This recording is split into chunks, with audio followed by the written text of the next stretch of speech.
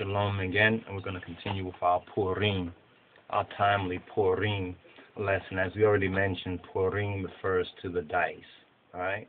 Purim. Four refers to the dice. Now, we've touched on some of the elements of Purim, seeing that now there's a there's a drum roll for um war going on, but the Moshiach, you understand, the true Messiah, the true Joshua, Yeshua, he he warned us you see, and this is what separates us from other so-called um, Jews, or those who call themselves Jews, that we as Ethiopian Hebrews, as Beit Israel and Let Rastafari, we accept the true Moshiach, the true Moshiach, Joshua, Joshua or Yahshua, Yeshua. You understand our black Lord and Savior, Jesus Christos, Jesus Christ.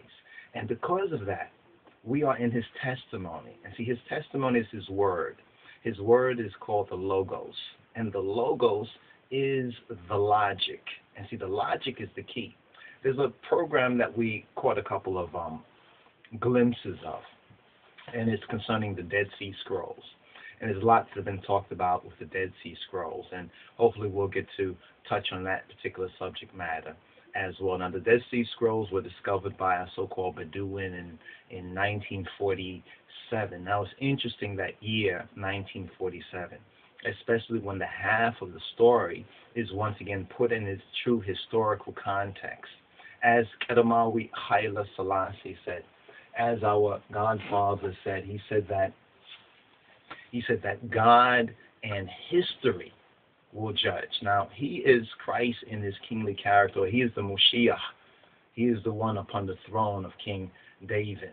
Now, there's a lot of confusion among so-called um, uh, placebo Christians or counterfeit Christians or so-called Christians concerning Haile Selassie because they don't know of Ethiopia because they have been misinformed and misdirected concerning the Ethiopian testimony and even many Ethiopians themselves are those careless Ethiopians, similar to the Jews during the time of the Moshiach, during the time of Joshua. And this is one of the reasons why the whole um, um, the the insurgency against the Romans, this is one of the reasons why it failed. Although they had many keys, although they, they were they were precise on many things, the main thing is that they had rejected the Moshiach. See, this is 70 AD. Now, 70 AD in our Black Hebrew, or or or um, Hebrew Israelite, or Black Hebrew Israelite. There's different ways that it's it's qualified in the world. We stick to what our brother Rabbi Wentworth Arthur Matthew Matthews, who was the head of the diaspora Ethiopian Hebrews. You understand what what he qualified it as was we are we are we are black um, um, um, Israelites or we're, we're Israel, black Israel, but more precisely he said Ethiopian Hebrews. So Ethiopian Hebrews is the the ideal um, hyphenated, albeit qualification of who we are. But now the election that the Bible speaks of is Rastafari. The election is Rastafari. Now, speaking of Purim, let's let's touch on this and Yah willing, Yah willing, I and I live will touch on this and that and the next matter as well. But let's touch on this right here because we have some notes up here. Mm-hmm. Here we say Purim, right, equals dice. Purim equals dice. And the dice are the lots. These are the lots. These are these are the dice. Right? Now, why is that significant? Now we're gonna have to take some of the information that we put up there previously off, the whole link with Persia and Iran. That's in Daniel's Menetekel Upharsin, Daniel chapter 5, 525, or 525 with Peres, right? Or Persia. Now, something interesting actually comes out of this as well. A, a few interesting points, because people will say, well, why is is is this significant for us? Well, first of all, you know there was an Ethiopian queen who was named Esther as well, or Aster. Aster. And if we look at our notes right here, we see that Aster, right, or Esther means star. Aster. Now, in English, you might call it, uh, this is actually As, steer, like Aster Aweke, Aster Aweke, and then we have uh, Asterix, right? An asterisk.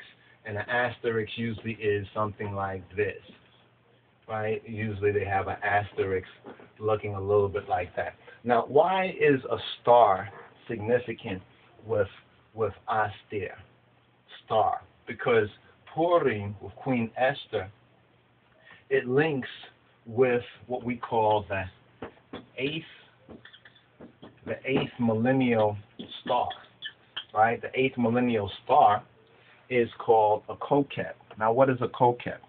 Kokeb Balmarenya in the Amharic, in the royal language of Amharic, in our pure language means star. So there's a star of the eighth millennium. In the eighth millennium, what is the year for us as Ethiopian Hebrews? This present year, 2012, is 7,504. 7,504. So let's put this right here.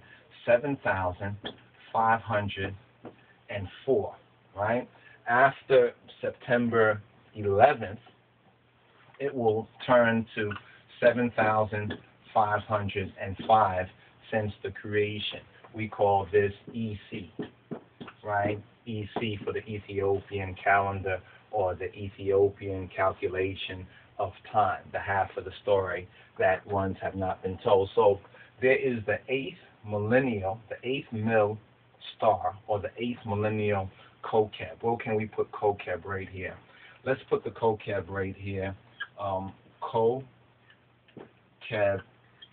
right? Now in the Hebrew, they will say Kokav. Kokav.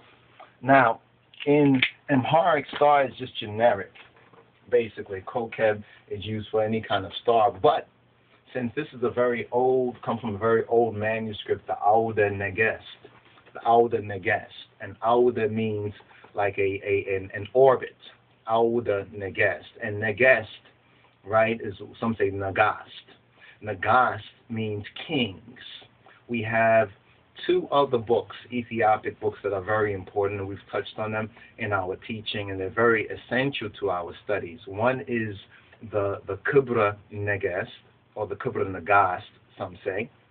Another one is the Fetha, the Fetha Negest.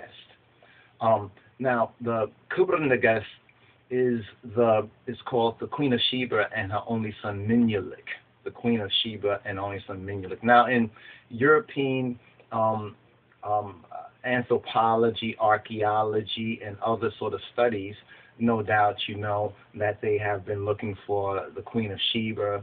Where was she from? Was she from Yemen? In the tip of the Arabian Peninsula, or was she from Ethiopia? They've been looking into this particular subject matter. We should be looking into this much more ourselves. So we must begin with the logic, the logos begin with the word. And this means begin with the scriptures and begin with the teachings.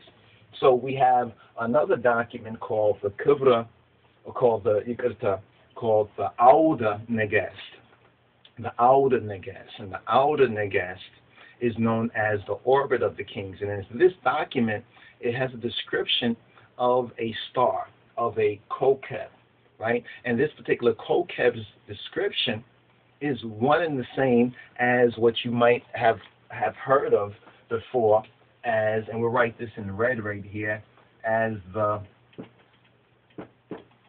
Nibiru. Now this is for a question mark right here, because some say that, and from, from our own um, preview of um, portions of this document, the Auda Neges, it does appear that the description of the eighth millennial star, or Astir, See, Astir, Astir now, it, here's where the languages and the linguistics meet, and here's where we have a codification of it in the Ethiopic. The Astir is a star. So Esther, Queen Esther, Now, Queen Esther is linked with the Purim, or the dice, or the lots.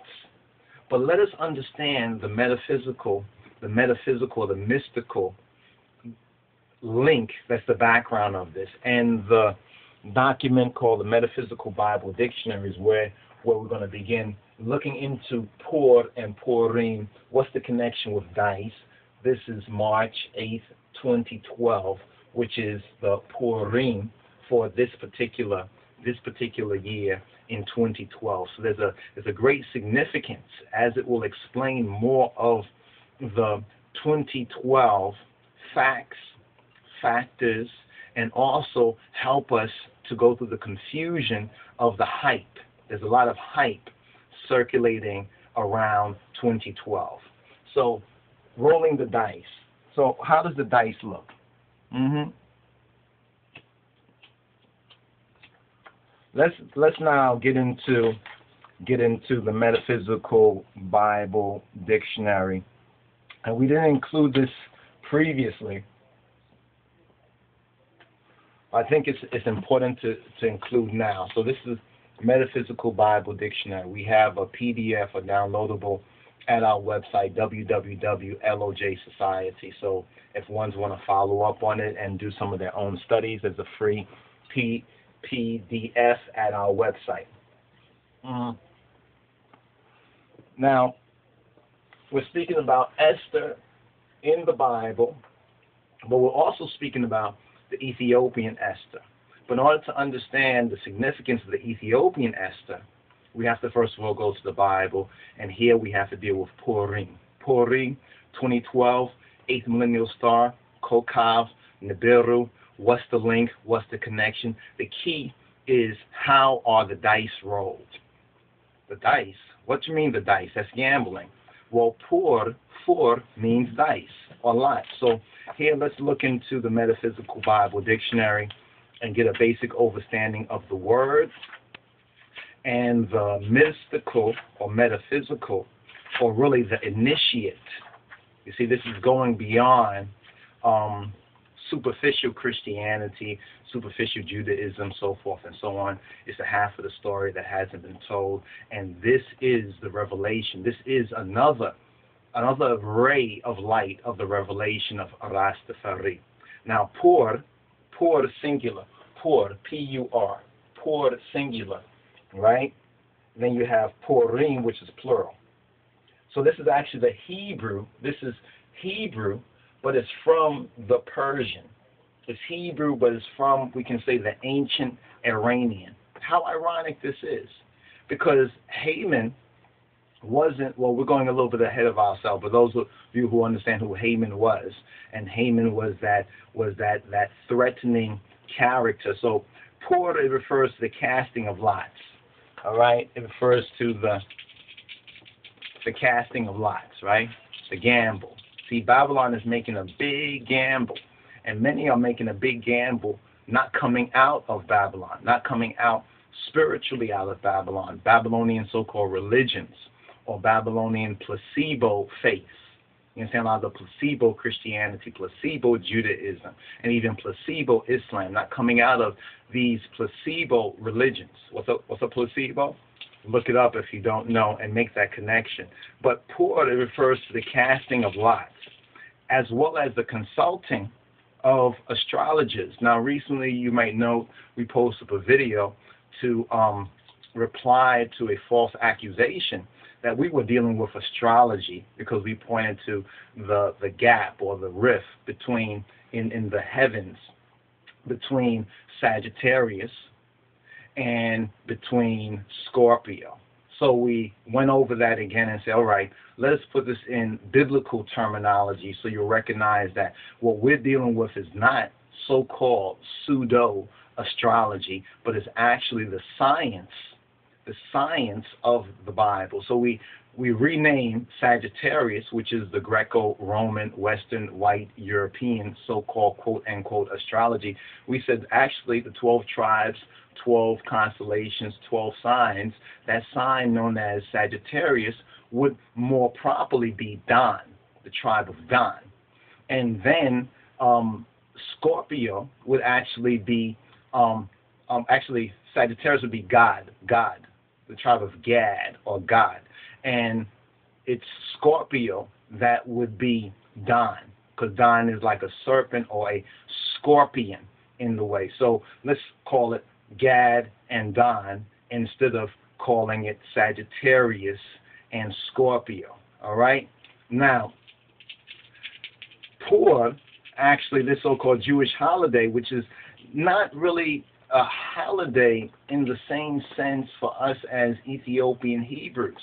We know that there is a queen that delivered us, Hadasha, her name as our sister, or as an Israelite, a black Hebrew woman and lady, Imabate. But then she's also called Astir, and Astir, also the Hebrew from the Persian, means a star. But then we're now linking this star, which is in the English asterisk, with, remember, asterisk, is it really a star or is it a particular conjunction? Asterisk is a particular conjunction. If what they tell us is true and correct, then December 21st, 2012 would be a particular conjunction that is symbolized by what we know as the asterisk, but links with Aster, the English Esther, and the story begins in Purim. So let's continue with Purim. So Purim, it refers to the casting of lots or the casting of dice. Pur means a part, it means a portion, a lot, a die, really a dice, or an oracle. Because depending on how the, the dice was thrown, they would read the dice and that would present to them a particular oracle. For them, it was the word of a god or their god or certain demons that they worshipped as gods. Now, Pur refers to the casting of lots and the consulting of astrologers by Haman the Agagite. Haman the Agagite. Last year we touched on Gaddafi and we linked him with our own so called Haman in that equation. How everything summed up in Libya fulfilled that particular word. That word there was fulfilled. So now we move to this year where the big talk is Iran and attacking Iran, the so called Jewish state of Israel, or the white Ashkenazi Jews, and the Americans attacking Iran to stop them from gaining a nuclear, you know, nuclear um, weapon and nuclear bomb, nuclear war against Israel, so forth. That's the that's the narrative that's in the media right now, and we explore that in light of Daniel's prophecy because we said that if they are working on this, as we um, bethinks they be working on this, then it it's might lead to a miscalculation. His Majesty warned us of miscalculation. We can see even with the Qurum or the Qumran community or the Essenes and the so-called Jewish wars and certain so-called messianic speculations that they also miscalculated and they had missed Joshua. They had missed the Moshiach. Why? Because it wasn't the that that Christ or Jesus Christ, Joshua, did not fulfill their preconceived notions in the same way that they have missed Haile Selassie I for the very same reasons because his imperial majesty did not fit their so-called preconceived notions of the Messiah or the return of Jesus. But that does not mean that he is not true, just like the Jews failing to defeat the Romans in 70 AD did not prove that Jesus Christ or Yeshua HaMoshiach, Black Lord and Savior, was untrue, but it proves that they had misinterpreted God's word and therefore God's signs. So in this prophetic time, we must be very diligent and careful to scrutinize all the data and all the facts and do the math correctly so we do not be like they. So we have a very important lesson. Biblically, 2,000 years ago, the so called Jews and Jesus 2,000 years scrolling forward, the careless Ethiopians, the world, and Haile Selassie first. So let us keep that in mind. So Haman, he consulted with astrologers, magicians, sorcerers, and the Chaldeans um, concerning the Jews or the black Jews who were in Persia. You understand? So Haman was the enemy of the Jews. Against the Jews, he was, and he sought to destroy the Jews, just like many seek to destroy black people, especially black people in the Americas and the Caribbean. Brothers and sisters, we are like the Jews were during the time of the Holocaust and those wars. Make no mistake about it. Make no mistake about it. We're not in so called post racial times because racism is still the, the, the gorilla, so to speak, in the room. It still has not been dealt with. And speaking of gorilla, we just saw part of Planet of the Apes. Um, the Planet of the Apes movie, and it's kind of interesting when you think about. It, but that's a whole that's a whole other um, that's a whole other matter. So in Esther chapter 3 and 7, and in Esther chapter 9 and 24, you will find poor. Poor would be one. One dice would be poor. And purim would be dice. You understand? It will be more than one dice, whether two, three, or even more um. So Purim is the name of a Jewish of a Jewish festival. Purim is the name of a Jewish festival. It's not a Hebrew high holy day. It was not commanded by Yahweh. It was not commanded by Jah, but it was a, a memorial of a deliverance of Jah's people in such a time. So let's make that distinction. It's not a high holy day.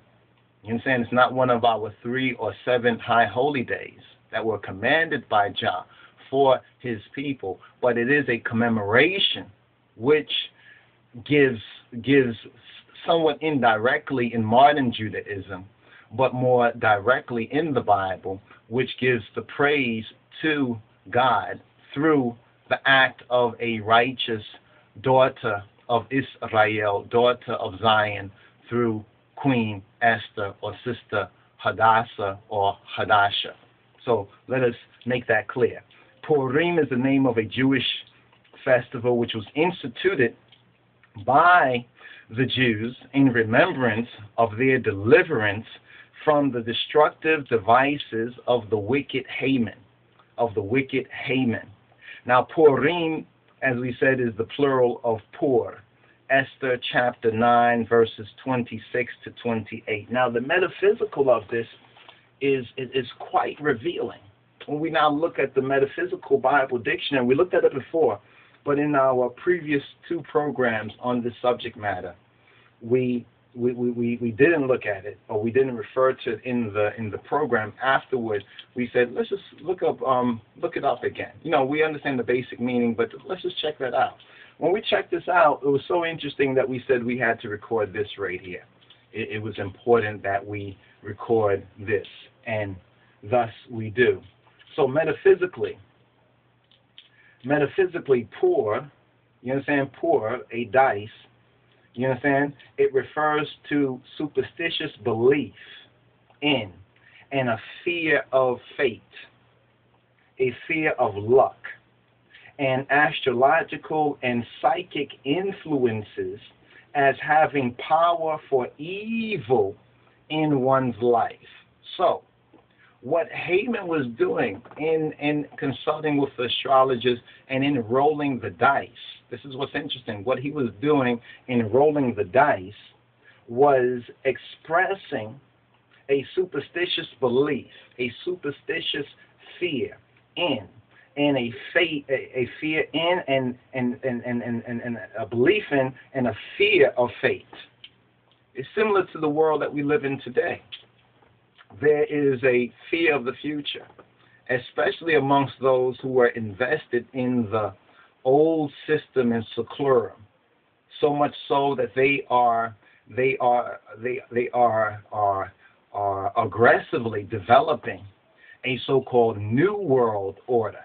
You understand where they can maintain their illegitimate rule over Beta Israel, over us, the once lost but now found Beta Israel, over the root peoples, the black and Asian peoples, and ultimately over over the world. And we're speaking of our enemy, you understand, which is white supremacy. But that white supremacy is powered by Satan, is powered by the dragon, is powered by Diablos, is powered by evil. So now I want you to put together, if you if you may, and if you are able to, the link between Purim, you understand, and the link in 2012 right now. So there, there, there's a connection here because what Pur now describes, since Pur is so intimately connected with dice, you see what I'm saying? And dice is intimately connected with a, a sense of gambling. Now, historically, we know that Nero, the Roman Emperor Nero, and Nero, here's what's interesting Nero was likened to the the Chi Xi stigma. In other words, he was likened to 666. His name, Caesar, Kaiser, was looked at in that Revelation 13 and 18. Ones were looking at, well, if this is a man, let us look for a particular individualized man who fulfills that. So they found in Nero, Nero, Caesar, you understand, and, and, and opportunity and an expression of the likeness of Revelation chapter 13, verse 16. But when Rome burnt, when Rome burned, history tells us and teaches us that Nero, he was rolling the dice. So while Rome burned, but what did he do?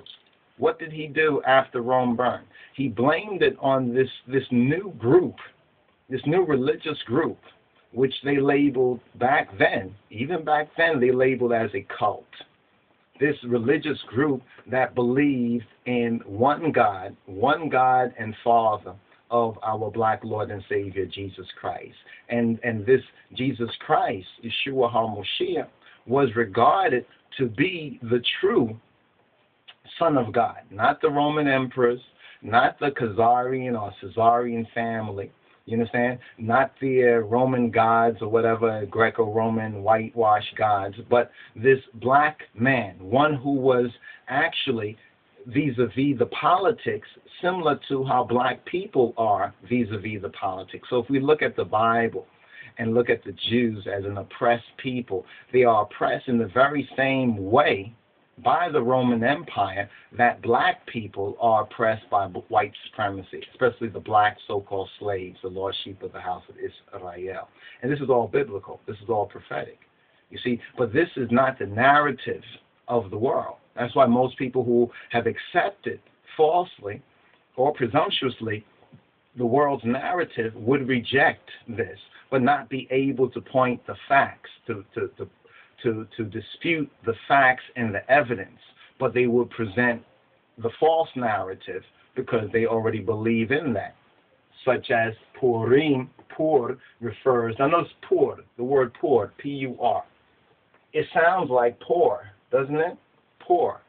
Bamarinya, and even in the ancient Persian, it was actually Fur. Fur. It was pronounced not with the P sound, according to the later Ezra um, repointing of the Hebrew. So it's, it's, it's, it's pe, it's a pu sound instead of a fu. So now we say it as pur, but then it was said as fur. So Purim was originally forim, and we know that from the pure language of Kedemawi Haile Selassie and from the Metzhaf Kedus, the book of the seven seals. His Majesty's Bible. But let's go with what we're told because the revelation is going to reveal to us what is. So we call it pur. You understand? We call it pur, singular. And the pur singular is an individualized dice. Now, the dice refers to what? Superstitious belief in and a fear of fate, a fear of luck, and astrological and psychic influences as having power for evil in one's lives. This is similar to what uh, plenty of folks go through because they believe in, they read the signs, the horoscope, so forth and so on. If it says, well, don't go outside, don't do this, don't do that. They are controlled by this belief in these these um these powers or whatever as having some real power for evil in one's life. Now, such error ideas, these this is error ideas. This is error programming.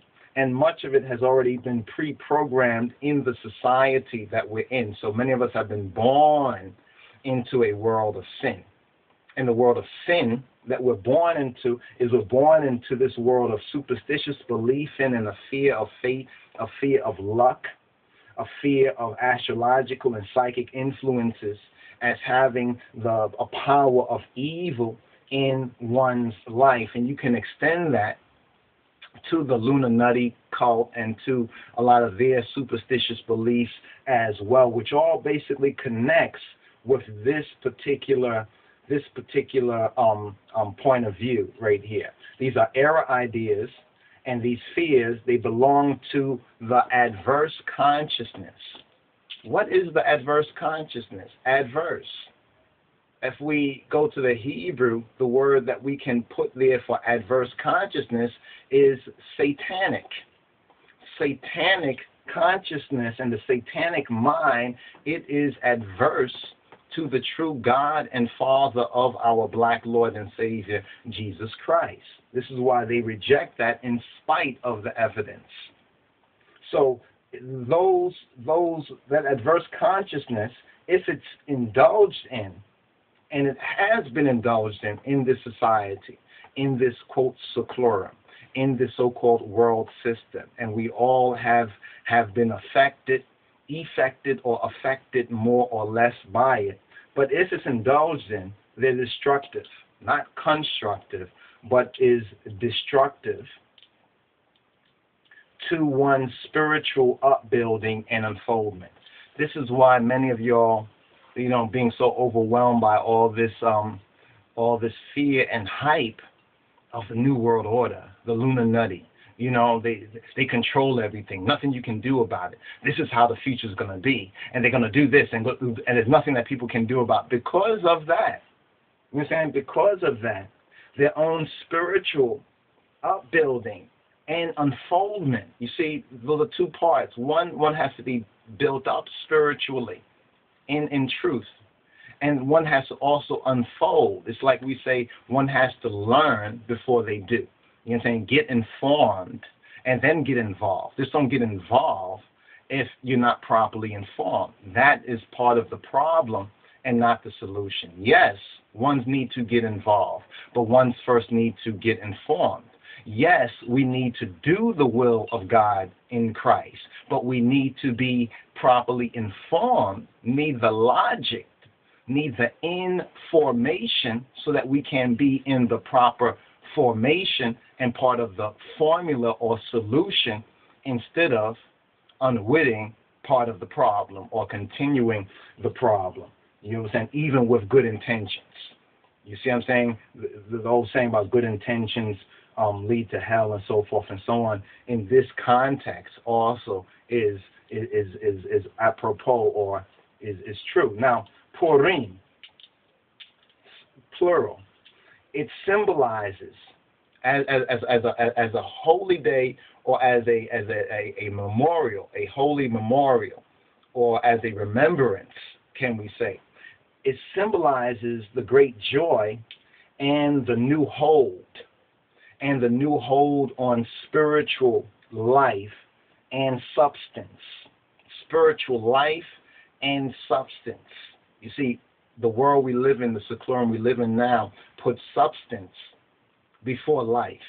It puts substance before spirituality. And this is why so many of us, one way or the other, have been affected adversely by substance and substance abuse or material and materialism and have lost track of true spirituality, being rooted and grounded in truth. So Purim, it symbolizes the great joy and the new hold on spiritual life and substance that the overcomer, key word there, the overcomer. You see, overcomer. Blessed are those who overcome not those who are overcome. So so so the the overcomer realizes by means of his deliverance from the superstitious fears. See, there are superstitious fears that Pur represents, that rolling the dice represents. But rolling the dice, and these dice, as I use these dice in this series right here, as a as a a a a, a, a kind of a symbolic representation. You see, this is a symbolic representation of what? Let's go back to the top. Pur refers to superstitious beliefs. So this may be a symbol, right? These may be the symbols, right? But behind these symbols, there's a consciousness or there's an idea which must be digested and understood consciously. And what is that idea? Superstitious belief in, and fear of fate, a fear of luck, a fear of life, a fear of the future that one would consult with astrological and psychic means in order to to to to to get some control of life. In other words, in a sense, it's like trying to guide God on a level. You see, this does not mean that psychic, psychic is just soul. You see, psychic refers to the soul. Christ, the Moshiach, he came to save our souls, our psyches. You see, there's so many people in this present world that are psychologically destroyed. And then they give them the drugs, and then, and, you know, it's, it's that's the confusion that we're dealing with. But then the Bible already said, the Bible labels in the New Testament sorcery as pharmakesis. And pharmakesis is pharmaceuticals. And people take pharmaceuticals usually, you understand, for psychic or mental imbalances or maladjustments in this evil world. You see, and then the next set believe in things like fear and luck, you understand, and fate, and have to roll the die, you know, like lottery. A lot of these things are just extensions of that Haman consciousness. So, what is important in the story of Queen Esther, and as a balance to this, we're going to look up Esther for a moment as a balance to Pur, because it's positive, the overstanding. But we, we want to first of all speak about the the individual. Because in every great event in life, there's always an individual who we must identify with that that event, positive or even negative. You know what I'm saying? So when we look at, say, World War II, we're looking at certain key individuals. You understand? Who who who who represent that history. So it's impossible just to look at all the so-called ants. You know what I mean? You have to look at one individual amongst all the ants and recognize the significance of that individual in in being a symbol of their generation. So when we talk about Whitney Houston, death of Whitney Houston, we say, "Wow, this is the, this is the death of a generation."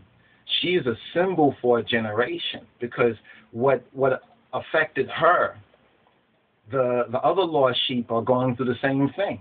And if they don't get it, they're going to have a fate similar to, or in the end, just like her, because she's a symbol of her generation. But now, Esther, Esther, Astir, Aster, Astir, link with Aster, Asterix, star, or Kokeb, possibly Nibiru, and according to the Aude Negist, which speaks of it as the eighth millennial star. This is the year that we're in right now, 2012. You understand? So this links right here. Let us put this here so you can. Um, this links with 2012, right? This is 2012, Ethiopically speaking. So that means in the West, they are dealing with about 2012 years of civilization from an Ethiopic perspective, we're speaking of at least 7,504, soon to be 7,505. Now, speaking of Esther, Esther, her name Now, here's what's interesting. What does Esther Esther's name mean? Well, simply it means a star. But we know that God is in the details, right? So if we get beyond just star, well, we find the planet Venus. Esther links with the planet Venus. So Aster star, which star are we talking about? Now we begin to understand that we are speaking about the star that is known as Venus. Now we can go into this very much, or the morning star, right? This is the morning star, you know, also linked with so-called Lucifer in in some Eurocentric uh, traditions and disciplines. But let's go further. Esther means, Aster means happiness. Aster means good fortune. Now, fortune, fortuna. This is what's interesting. If you go to, um, I hope we have enough time to get into this right here. But you know, I like to I like to give you certain important references, even if I'm only able to note them briefly, so that ones can check it out for themselves. Let me get the so if you look right here, you will see in in Isaiah chapter 65, Isaiah chapter 65, verse 11, it says this, But ye, but ye are they that forsake the Lord. Ye are they who forsake Jah. You forsake Yahweh. You forsake Jah, Rastafari. That forget my holy mountain, holy Mount Zion, the African Zion. That prepare a table for that troop. Now, if you look into the Hebrew, the Hebraic, and you study this verse, troop would be Gad. You remember we mentioned how Sagittarius, you understand, that troop, Sagittarius represents Gad, and and and and Scorpio represents the tribe of Dan in the heavens, as above, so below.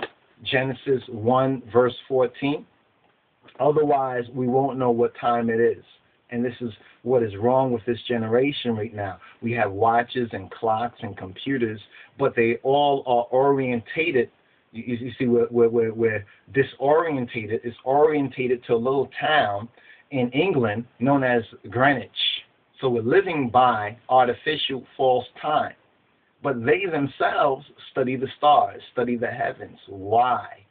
Because it keeps them ahead while they have us looking down here on earth and caught up in a man made so called reality called the seclorum or the world. But the Bible tells us that it's the end of the seclorum, not the end of earth and creation per se, but the end of this world system, this way of doing things. And these are all linked with the heavens. You see, this these are all linked with the heavens. No matter how they talk about global warming, the ecology, so forth and so on, we keep seeing these signs happening. You see, but we also are seeing false signs too. See, false signs. Some of these things we see happening, even in the weather and the environment, are I will not say man-made, but they are caused by um, the accomplices of Satan, certain men and people experimenting you know saying, with certain knowledge that if they use it for life, it would improve life for human beings, but they use it for death and destruction because they get these sciences, you know, saying, from the father of all lies, Satan, our adversary. So when we look at Haman, Haman was just the individual. You know what I'm saying? He was just a representative, like looking at Hitler or looking at Mussolini. These are just the individuals, you I'm saying, who Satan or Satana uses, and then we have, you know, then we have have um, the death and destruction, but we can link it with these important individuals. But then when those who oppose these individuals, see, we always hear about Mussolini. You understand? We always hear about um, Hitler. Then the opposite, we hear about Churchill, or we hear about MacArthur, or we hear about Eisenhower. We never hear about Haile Selassie the first. You understand? We never hear the half of the story that hasn't been told. But just because the half of the story is not told doesn't mean that we don't need that half of the story to be full and whole and complete. You understand? Just because you suppress part of the story, you can only go but so far. with with half cocked, as they say. And unfortunately, that's the situation. But here it says about preparing a table for that troop. Troop is Gad. And that furnish uh, the drink offering, the drink offering, notice, to that number. The drink offering. You remember Belshazzar? Belshazzar and, and his, his guests who decided to drink out of the gold and silver um, um, vessels of the tabernacle during the Babylonian captivity of the tribe of Judah, that when the handwriting wrote on the wall, and Daniel was was asked to in, read it and interpret it, he read it Mena. Mena is this very same one that we find in Isaiah 65, 65, and 11. Yes, 11. You could go into that number if you want to. But, the, but getting into this verse that is numbered 11, we find Gad and Mena. So we have part of the prophecy, part of the prophecy that links with, for example, the Sagittarius constellation, 2012 and all that. And then we have the drink offering to that number, and Daniel spoke of the Menetekel Upharsin. He was speaking, and that was sealed up. Remember that in Daniel's prophecy says that these things are sealed up to the time of the end, the end of this cycle, the end of this seclorum. But the media is saying, hey, it is, there's been these prophecies all the time. Just, just, just, just go to work and shop go out and party and play. And we'll tell you what the weather's going to be like tomorrow, but they're not really giving people the real significance to get their, their heads and their hearts in order. And that is contributing to the exasperation of this time of change. You know what I'm saying? Because people have been misdirected and, and, and, and disorientated from the real purpose of, of life and asking themselves the key question what is life? Or who am I? What is life? Why am I here? What am I supposed to be doing?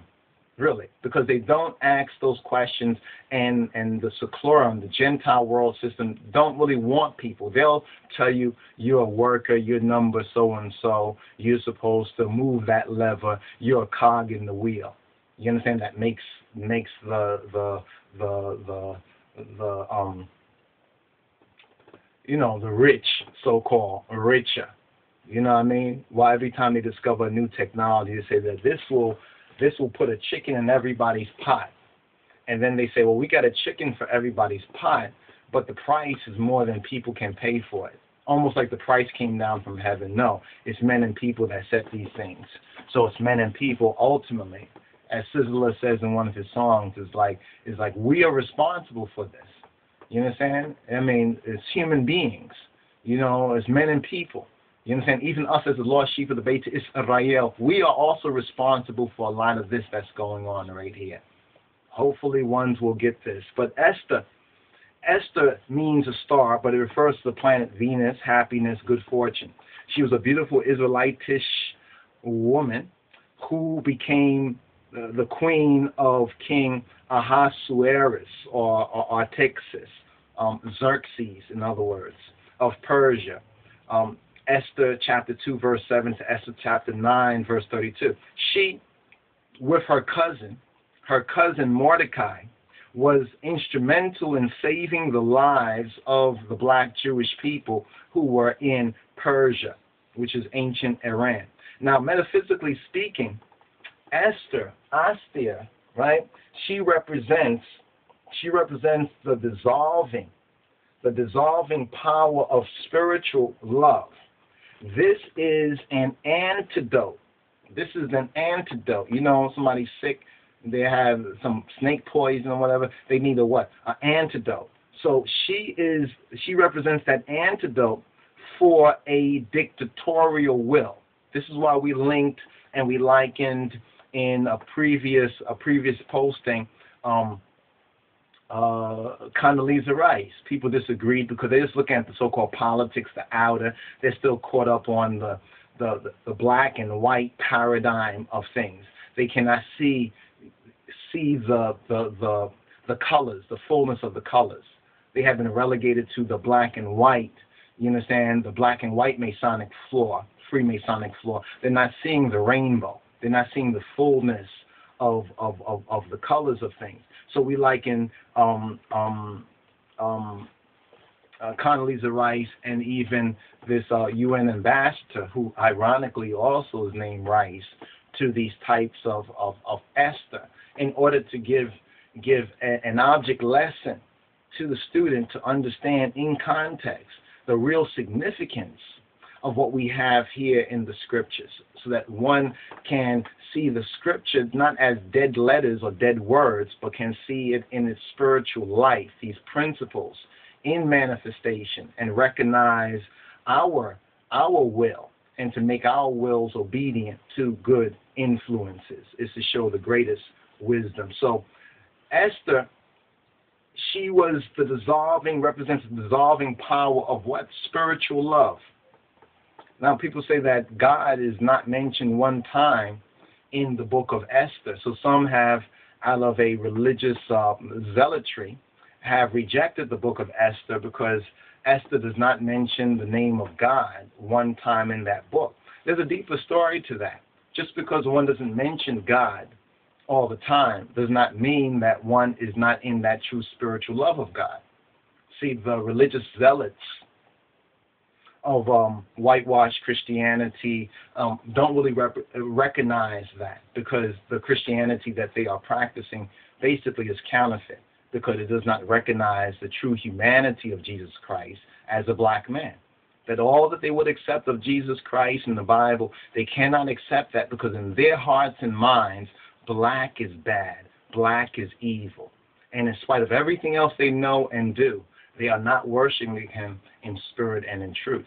So therefore, when they say, Lord, Lord, he's going to say, I never knew you. Get away from me, ye what workers of iniquity, of rebellion.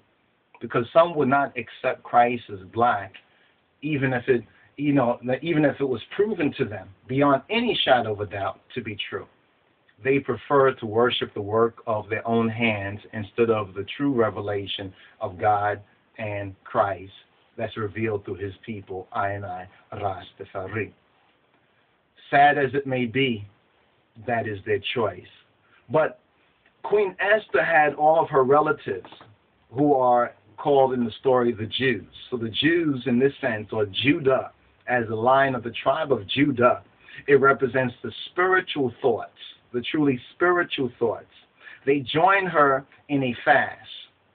So she calls for a fast amongst her people. And so the spiritual of her people, the Jews, the Judahites, Yehuda, Ihud, they join her in a fast. This means that we must deny. See now the meaning of this metaphysically, what's applicative to us even in this in this life and in our in our lives is that this fast, symbolically connected with Purim, it means that we too, I and I and I, must deny all selfish desires. You see, part of the reason why um, our our our our um, progress as the once lost but now found Beta Israel black folks, part of it is is is is is um, frustrated because because of the hate that hate produced many of us get caught up in an extremism. You understand? Extreme blackism that still denies the fullness of the picture. You see, and we have to, you know, we have to fast, fast from racism. You, you know, I mean, fast from that. Yes, we know that it began black and that they've been lying to us. You understand? But let's not blackwash in order to get even with whitewash. So we got to fast you understand? We got to fast. We must deny all selfish desires out of our love before we use it in softening the imperious will. So we have to fast, uh, deny all selfish desires out of our love, out of Jah love, even, before we use Jah love in softening the imperious, the imperious will. The imperious will then was was was Persia, was imperial Persia.